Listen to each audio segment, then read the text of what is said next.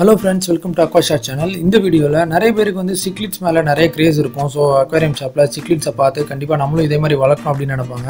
So cichlids பொறுத்த வரைக்கும் so cichlids பொறுத்த வரைக்கும் கேர் லெவல் வந்து கொஞ்சம் ஓரளவுக்கு மற்ற ஃபிஷ்ஷஸை விட ஜாஸ்தியாக கொடுக்குற மாதிரி இருக்கும். அது மட்டும் இல்லாமல் இந்த வீடியோவில் நம்ம வந்து சின்ன சைஸ் டேங்க்கில் எப்படி சிக்லிட்ஸை வளர்க்கலாம் சக்ஸஸ்ஃபுல்லாக அப்படின்றத பற்றி பார்க்கலாம். ஸோ நிறைய பேர் வந்து பேர் மினிமம் த்ரீ ஃபீட் இருக்கணும் டூ ஃபீட் இருக்கணும்னு சொல்லுவாங்க. நம்ம வீடியோ நம்ம சேனலில் போட்டிருக்க வீடியோலேயே நான் நிறைய தடவை சொல்லியிருக்கேன். ஸோ அது என்ன மாதிரி சைஸ் அப்படின்னா ஓரளவுக்கு ஒரு த்ரீ இன்ச்சஸ்க்கு மேலே இருக்கிறது அந்த மாதிரி தேவைப்படும். ஸோ அதுக்கும் கம்மியாக பேபி சைஸ் சிக்லிட்ஸை கண்டிப்பாக ஒன் ஃபீட் டேங்க்கில் ஏன் ஒன் ஃபீட் நேனோ டேங்க்கில் கூட வளர்க்கலாம். ஸோ ஆனால் சிக்லிட்ஸ் பொறுத்த வரைக்கும் அது வந்து கூட்டமாக இருக்கணும் அப்படின்னு லைக் பண்ணோம். ஸோ இதுக்கு ரீசன் என்னென்னா ஒரு டேங்க்கில் வந்து நீங்கள் எத்தனை ஃபிஷ்ஷஸ் விட்றீங்களோ பத்து ஃபிஷ் விட்றீங்கன்னா பத்து ஃபிஷ்ஷுக்கும் வந்து ஒரு ஃபிஷ் பாஸாக இருக்கணும் அப்படிங்கிற மாதிரி அது வந்துக்குள்ளே ரியாக்ட் பண்ணோம். ஸோ இது வந்து கேட்குறதுக்கு வந்து உங்களுக்கு வித்தியாசமாக இருந்தாலும் சிக்லிட்ஸோட நேச்சரே வந்து அக்ரஷன் லெவல் வந்து ரொம்ப ஜாஸ்தியாகிட்டே போகும் எல்லா ஃபிஷஸ்க்கும் ஒன்று கூட ஒன்று வந்து அந்த டேங்கோட ஸ்பேஸை வந்து நான் ஆக்குபை பண்ணிக்க போகிறேன் அப்படிங்கிற மாதிரி சண்டை போட்டுக்கிட்டு இருக்கோம். ஸோ நீங்கள் அக்வாரியம் ஷாப்ஸில் பார்த்தீங்கன்னா சிக்லிட்ஸ் இருக்கிற டேங்க்கில் ஒரு டியூப் மாதிரி வச்சுருப்பாங்க. ஸோ அதுங்க போய் ஓடி ஒளிஞ்சிக்கிறதுக்காக வச்சுருப்பாங்க. இதுக்கு ரீசனே இந்த ஃபிஷ்ஷோட அக்ரெசிவ் நேச்சர் வந்து அதிகமாக இருக்கும். ஸோ டேங்க்கில் எங்கேயுமே ஒளியறதுக்கு இடம் இல்லைன்னா அதுங்க வந்து கொஞ்சம் சண்டை போட்டுட்ருக்கோம். ஸோ ஷாப்பில் வந்து ஒரு சில டேங்க்ஸில் வந்து ஹைடிங் ஸ்பாட்ஸ் இல்லாமல் வச்சுருப்பாங்க.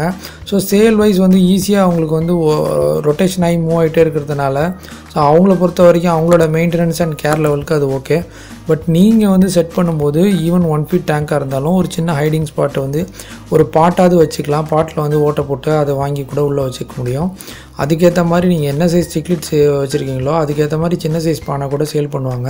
ஸோ ஒரு ரொம்ப சின்ன சைஸ் டேங்க்கில் ஹைடிங் ஸ்பாட்ஸ் டாய்ஸ் நிறைய வச்சிங்கன்னா பார்க்குறதுக்கு லுக் வைஸ் வந்து அக்வர்ட் ஆகிடும் ஸோ இப்படி லுக் வைஸ் ஆக்வர்ட் ஆகாமல் கரெக்டாக இருக்கணும் அப்படின்னா உங்கள் டேங்க் சைஸ் நீங்கள் ஒன் ஃபீட் டேங்க் செட் பண்ணுறீங்கன்னா ஒன் ஃபீட்டுக்கு உள்ளே வந்து அக்காமடேட் ஆகிற மாதிரி பார்க்குறதுக்கு வந்து வியூவிங் வைஸ் வந்து பார்க்குறதுக்கு நல்லா இருக்கிற மாதிரி ரொம்ப ஃபிஷ்ஷும் வந்து ஸ்பேஸ் இருக்கிற மாதிரி செட் பண்ணுறதெல்லாம் ஒரு ட்ரிக்கு தான்.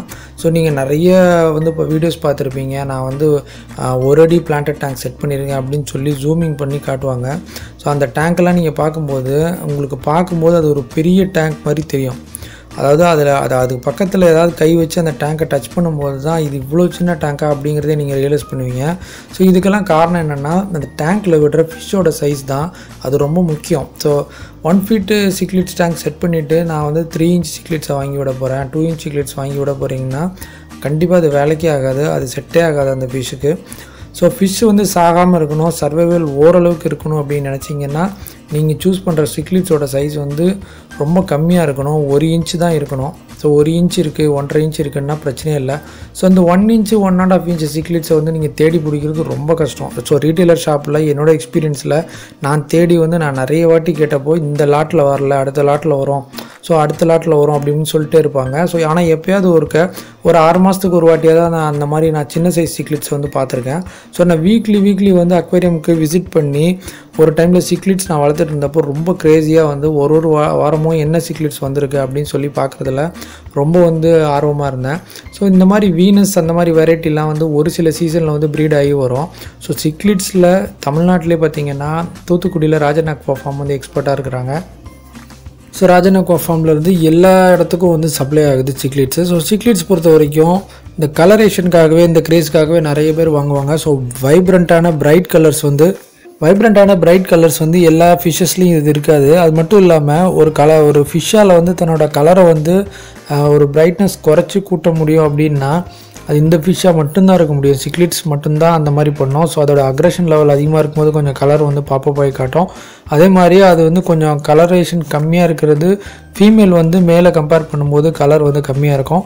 ஸோ ஜென்ரல் அக்வாரியம் ஷாப்பில் இப்போ ஃபீமேல் வந்து நீங்கள் கேட்டிங்கன்னா சொல்லுவாங்க இதுதான் ஃபீமேல் அப்படின்னு சொல்லிட்டு. ஸோ நீங்கள் ஃபீமேலே எனக்கு வேண்டாம் நான் வந்து மேல் மட்டும் வாங்கி விட்டுக்கிறேன். ஸோ ப்ரீடிங்க்கு வந்து நான் ட்ரை பண்ணல அப்படின்னா நீங்கள் அந்த மாதிரி கூட பார்த்துக்கலாம். ஸோ இந்த ஃபிஷ் பொறுத்த வரைக்கும் மற்றபடி இதில் நீங்கள் ப்ரீடிங்க்குன்னு ட்ரை பண்ணுறது முடிவு பண்ணி நீங்கள் ஃபீமேல் ஃபிஷ் வாங்குறீங்க அப்படின்னா ஸோ மேலோட பே பேர் பண்ணி விடும்போது ஒரு நாலு அதாவது மேலோட குவான்டிட்டி அதிகமாக இருக்கணும் ஃபீமேலோட குவான்டிட்டி கம்மியாக இருக்கணும்.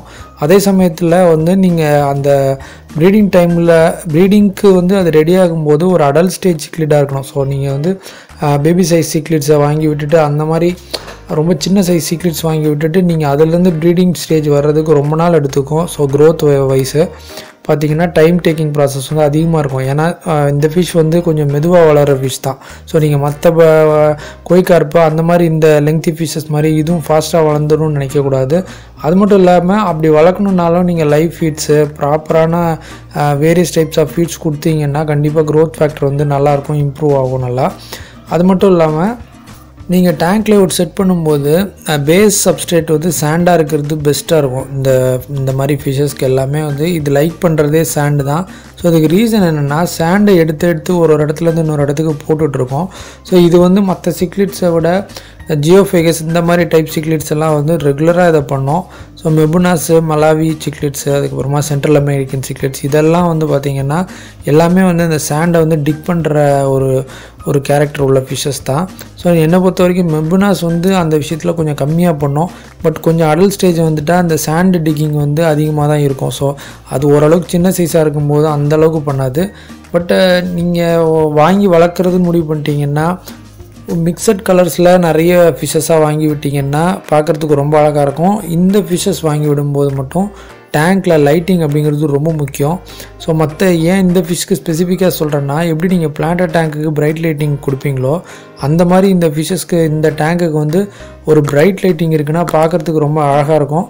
ஸோ கலரும் வைப்ரண்ட்டாக இருக்கிறதுனால உங்களுக்கு அப்போ தான் வந்து கிளாரிட்டி நல்லா கிடைக்கும்.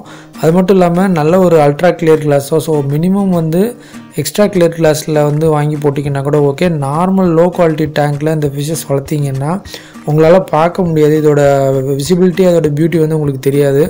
நீங்கள் வந்து ரொம்ப ஓல்டு டேங்க்கில் இதெல்லாம் இது வந்து நான் இதை எக்ஸ்பீரியன்ஸ் பண்ணியிருக்கேன். ஸோ ஃப்ரண்ட்டு கிளாஸ் மட்டுமாவது நீங்கள் எக்ஸ்ட்ரா கிளியர் போட்டுக்கோங்க. அது மட்டும் இல்லை இந்த இதுக்கு வந்து ஃபில்ட்ரேஷன் பொறுத்த வரைக்கும் பார்த்தீங்கன்னா நீங்கள் நான் நிறைய ஃபிஷ்ஷஸை வளர்க்கணும் அப்படிங்கிறது ஒரு கண்டிஷனாக இருக்கிறதுனால வேஸ்ட் அதிகமாக ப்ரொடியூஸ் பண்ணோம்.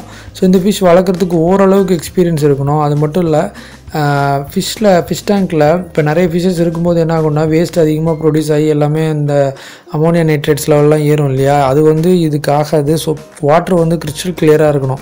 ஸோ இது வந்து fresh water fish so crystal கிளியராக இருக்கிறதுனால அந்த கிறிஸ்டல் கிளியராக இருக்கணுங்கிறது ஒரு மேண்டேட்டரியான கண்டிஷனுங்கிறதுனால ஃபில்ட்ரேஷன் பொறுத்த வரைக்கும் காம்ப்ரமைஸ் பண்ணாமல் ஒரு நல்ல ஒரு குட் ஃபில்ட்ரேஷன் நீங்கள் கொடுத்தீங்கன்னா நல்லாயிருக்கும். ரொம்ப பெரிய டேங்காக இருந்தால் நீங்கள் கேனிஸ்டரே வாங்கி வச்சுக்கலாம்.